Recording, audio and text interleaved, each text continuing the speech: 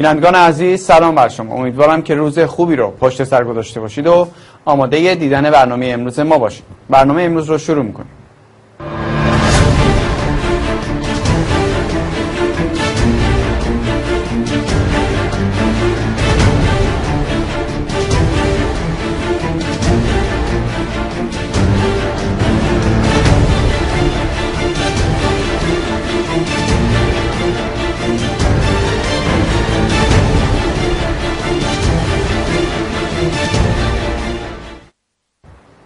در آستانه برگزاری نمایش انتخابات رژیم حدس و گمان زنی ها در مورد اینکه ولی فقیه با رقبا یعنی مشخصا خاتمی و باند موسوم به اصلاح طلبان درون رژیم و رفسنجانی و باند احمدی نژاد چه کار خواهد کرد؟ موضوعی که اغلب ناظران و تحلیلگران به اون می‌پردازند. ببینیم خبرها و موزگیری های این روزهای رژیم در حالی که خود ولی فقیه سکوت پیشه کرده چه سمت و سوی رو نشون میده؟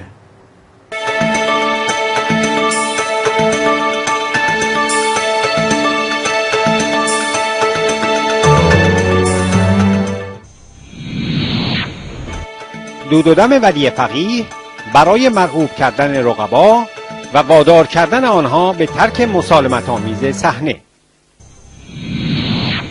اگر من در سن و سال هاشمی بودم نامزد نمی شدم هاشمی مسلحت نیست کاندیدا شود و کاندیدا شدن او یکی از بزرگترین اشتباهات سیاسی او خواهد بود.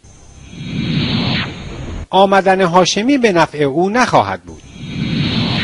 برگزاری احتمالی میتینگ یکصد هزار نفری هواداران کاندیدای احمدی نژاد در ورزشگاه آزادی غیر طبیعی است و حداقل روزی تا چهل میلیارد تومان هزینه دارد.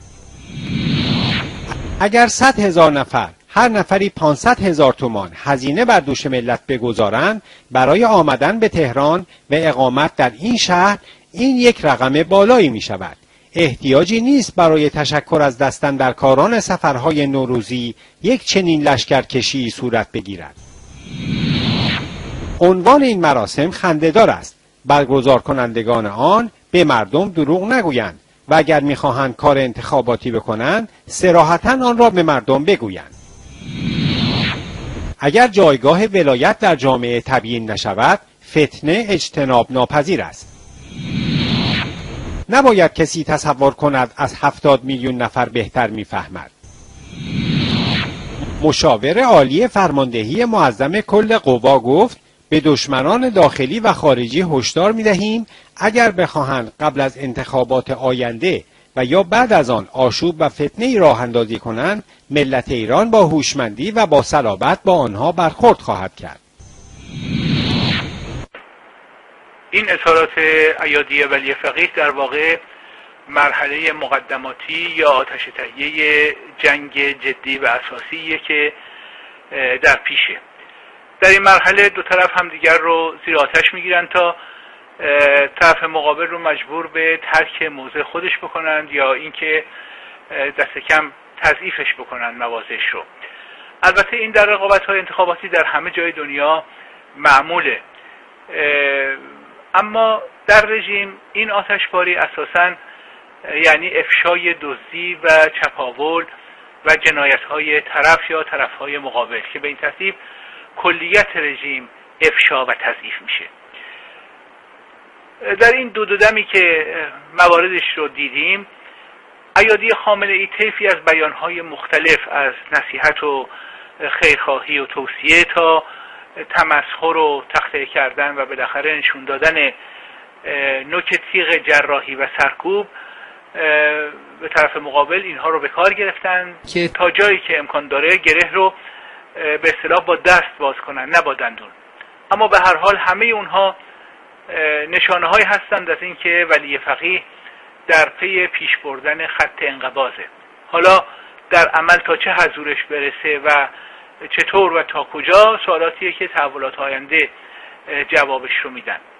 اما موضع طرف مقابل. در مورد احمدی نژاد همه نشانه ها تا به حال حاکی از این بوده که تا آخر و به هر قیمتی می‌خواد بیسته.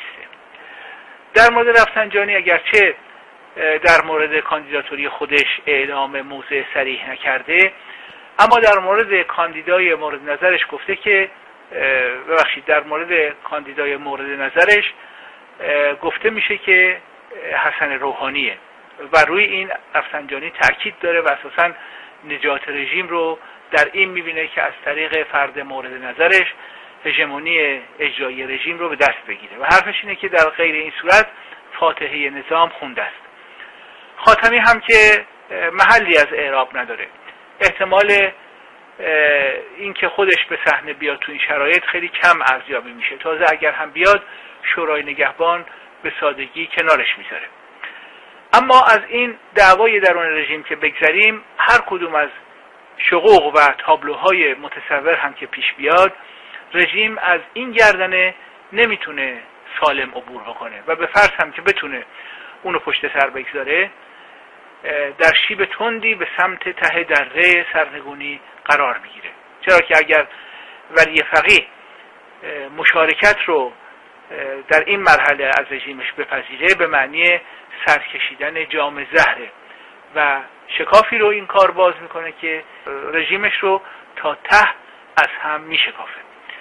اگر هم خط انقباز مطلق یعنی جراحی رو در پیش بگیره صرف نظر از ریسک برخورد و درگیری با مدعیان قاعده اتکای رژیم خیلی محدودتر و باریکتر میشه و در نتیجه رژیم خیلی ناپایدارتر میشه.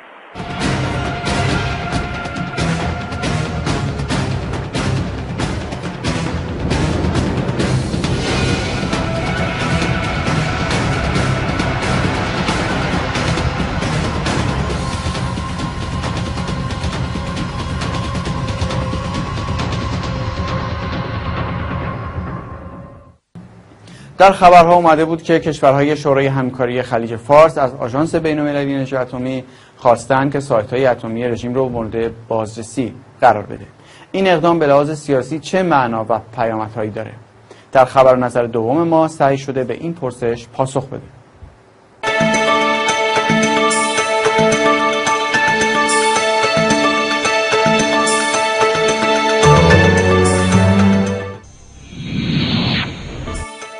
پیامد شکست مذاکرات آلماتی دو.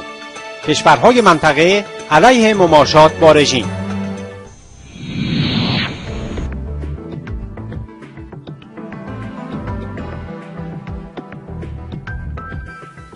نشست اضطراری شورای همکاری خلیج فارس خواستار بازرسی بین المللی از نیروگاه هسته‌ای بوشهر شد.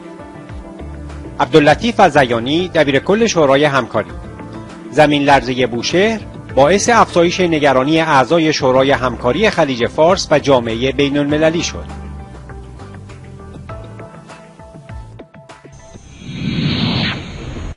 شورای همکاری خلیج فارس از اتحادیه های مهم سیاسی و اقتصادی منطقه محسوب میشه. حالا اینکه اعضای این شورا یعنی عربستان سعودی، بحرین، کویت، عمان، قطر و امارات متحده عربی خواهان بازرسی آژانس از تأسیسات اتمی رژیم شدن به قول معروف خاریه در پهلوی رژیم. از نظر سیاسی این موزگیری کشورهای حوزه خلیج فارس علیه رژیم که در واقع پیامد شکست مذاکرات در آلماتی دو هست اون ضربه به رژیم و به سیاست مماشات رو شدیدتر و سنگینتر می‌کنه. اگه خاطرتون باشه در پی شکست آلماتی لحن کشورهای غربی تفاوت محسوسی کرد. تا قبلش صحبت از تعامل و اینکه همیشه پنجره و دریچه باز هست و اینها می‌کردن ولی بعدش صحبت از فرصت از دست رفته می‌کردن و عباراتی از این قبیل شنیده می‌شد که دریچه همیشه باز نخواهد بود. یعنی از یک طرف ضربه به سیاست مماشات سنگین و غیر قابل کتمان و غیر قابل جبران بود. اما از طرف دیگه انگار هنوز تمایلی و تلاشی برای تخفیف آثار این ضربه وجود داشت. خب حالا مواجه میشیم با موضعگیری یکی از پیمانهای قدرتمند منطقه‌ای از جانب کشورهایی که مواضعشون برای کشورهای غربی و آمریکا اهمیت ویژه‌ای داره. چون که امنیتشون و خواسته مهم و گاه تعیین کننده است. اگه بخوایم با همون زبون و عبارات دریچه که در مورد چشمانداز مماشات با رژیم به کار برده شده صحبت کنیم اگر قبل از آلماتی برای بسته شدن دریچه چشمانداز طولانی تصویر می‌شد بعد از شکست آلماتی با تاکید بر اینکه همیشه باز نیست زمان کمتری برای بسته شدن ترسیم می‌شد. و حالا موزگیری کشورهای مهم منطقه به بستن همیشگی و گل گرفتن سیاست مماشات با رژیم فراخوان میده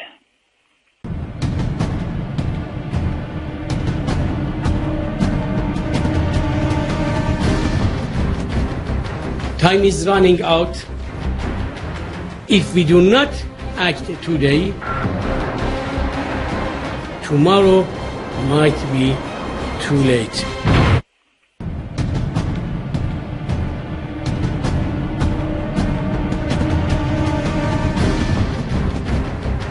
Time is running out. If we do not act today, tomorrow might be too late. آیا جهان فاجعه ای بزرگ را در تقدیر دارد؟ تا جایی که به رژیم آخوندی و سیاست مماشات برمیگرده بله اما رژیم در صورتی موفق میشه و به مقاصد پلیدش دست پیدا می‌کنه که هماوردی در مقابل خودش نداشته باشه.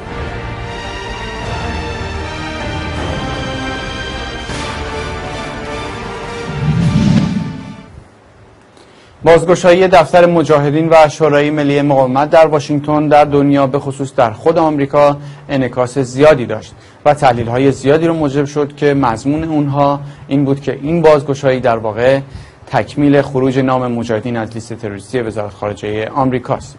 مقاله در همین رابطه از نظرتون میگذره.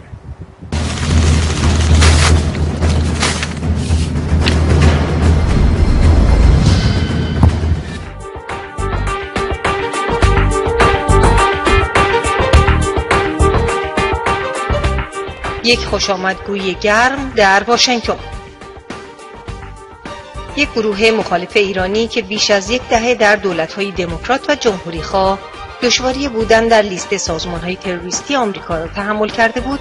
روز پنجشنبه با بازگشایی دفتر جدید و پاکیزه‌ای که کف آن با قالیهای زیبای ایرانی پوشیده شده بود و در دیدرس کاخ سفید قرار دارد به طور کامل از خود اعاده حیثیت کرد. چقدر بازگشت بخت و اقبال برای شورای ملی مقاومت ایران و مجاهدین خلق جذاب و خیره کننده است؟ جذابیتی که با حضور لیست بلند بالایی از شخصیت های برجسته در افتتاح این دفتر مورد تاکید قرار می گیرد. از اعضای برجسته و سابق کنگره تا مقامات سابق امنیت ملی و دیپلمات های معروف و مدافعان آمریکایی عالی رتبه که برای قطع روبان افتتاح دفتر گرد آمده بودند همگی مبین آن است که این سازمان اپوزیسیون ایرانی تا چه حد در رساندن پیام خود مؤثر و موفق بوده است. ژنرال جیمز جونز که به عنوان اولین مشاور امنیت ملی پرزیدنت اوباما خدمت کرده با اشاره به طرح شورای ملی مقاومت اهداف مزبور را تحت عنوان کاملا هماهنگ با ارزش‌های اصیل ما توصیف کرد. شخصیت های دیگری که در جشن استاتوی جدید ایرانیان حضور داشتند عبارت بودند از جان بولتون سفیر سابق آمریکا در ملل متحد و دیپلمات در دولت بوش. سناتور سابق رابرت توریسلی دموکرات از نیوجرسی و پاتریک کندی نماینده سابق مجلس دموکرات از رودایلند و کرالی دستیار سابق وزارت خارجه در زمینه روابط عمومی تحت ریاست هیلاری کلینتون. آقای کرالی که اکنون معلم دیپلماسی و ارتباطات بین المللی در دانشگاه جورج واشنگتن است شورای ملی مقاومت را در مقایسه با آلترناتیو های دیگر تحت عنوان گزینه بهتری برای تغییر دموکراتیک در ایران ستود کرالی گفت وقتی زمان تغییر در ایران برسد این شورا خواهد بود که آن تغییر را میسر می سازد. شخصیت های مقامی که در مراسم افتتاحیه روز پنجشنبه حضور یافته بودند و سفیر بولتون آن را تحت عنوان یک گروه دو حزبی ممتاز واقعی که این روزها در واشنگتن امری نادر است توصیف نمود گفتند که در طرف شورای ملی مقاومت هستند چرا که فکر می کنند این گروه بهترین امید ایران برای نیل و آزادی است. سناتور توریسلی شورای ملی مقاومت در سال 2013 را با زمانی که فرانسه آزاد در سال 1940 یک دفتر در لندن باز کرد مقایسه نمود. او گفت شاید خیلی ها متوجه نبودند اما مقاومت فرانسه می‌رفت تا نقش مهمی در آزادی فرانسه ایفا کند.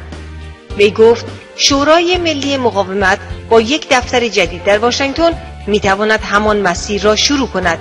او افزود من مفتخرم که سربازی در این نبرد باشم. So many people to thank today to make this extraordinary day possible.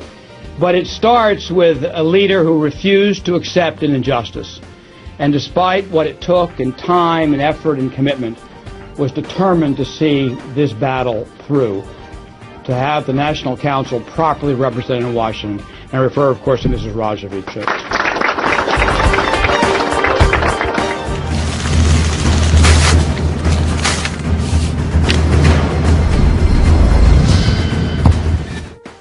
موقعیت و اعتبار مجاهدین و مقاومت ایران به خصوص در منطقه و در بین ملت‌های مسلمان بیش از هر چیز ولی فقیه رو که سرمایه گذاری بی حد و حصری برای مختوش کردن چهره مجاهدین به عنوان مسلمانان راستین به عمل آورده به خشم آورده.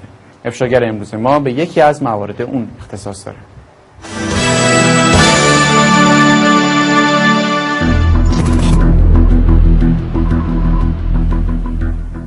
زوزه های وحشت ولی فقیه از مشروعیت و اعتبار مجاهدین در میان مسلمانان جهان. سوز و گداز از حمایت شیخ یوسف قرضاوی روحانی تراز اول جهان اسلام و رئیس اتحادیه جهانی علماء المسلمین. حمایت مفتی قطری از گروهک مجاهدین. یوسف قرضاوی مفتی مصری قطری بار دیگر حمایتش را از مجاهدین اعلام کرد به گزارش شبکه العالم قرضاوی در مصاحبه با شبکه الجزیره قطر مدعی شد این افراد انسانهای مستضعفی هستند و باید به آنها کمک کرد این نخستین بار نیست که قرضاوی به صورت آشکار از عناصر مجاهدین حمایت می کند. اظهارات قرضاوی در شبکه الجزیره قطر در پاسخ به درخواست فردی موسوم به سرمد عبدالکریم رئیس سایت وا در دانمارک مطرح شد. سرمد عبدالکریم از قرضاوی خواست بار دیگر حمایتش را از مجاهدین اعلام کند. قرضاوی علاوه بر حمایت از مجاهدین از آغاز جنگ در سوریه در مواضعی همسو با نظر مسئولان قطری به صورت آشکار حمایت خود را از این گروه های معارض اعلام کرد. وی در همین راستا با صدور فتوایی دخالت خارجی و حمایت از گروه های مسلح در سوریه را حلال دانسته است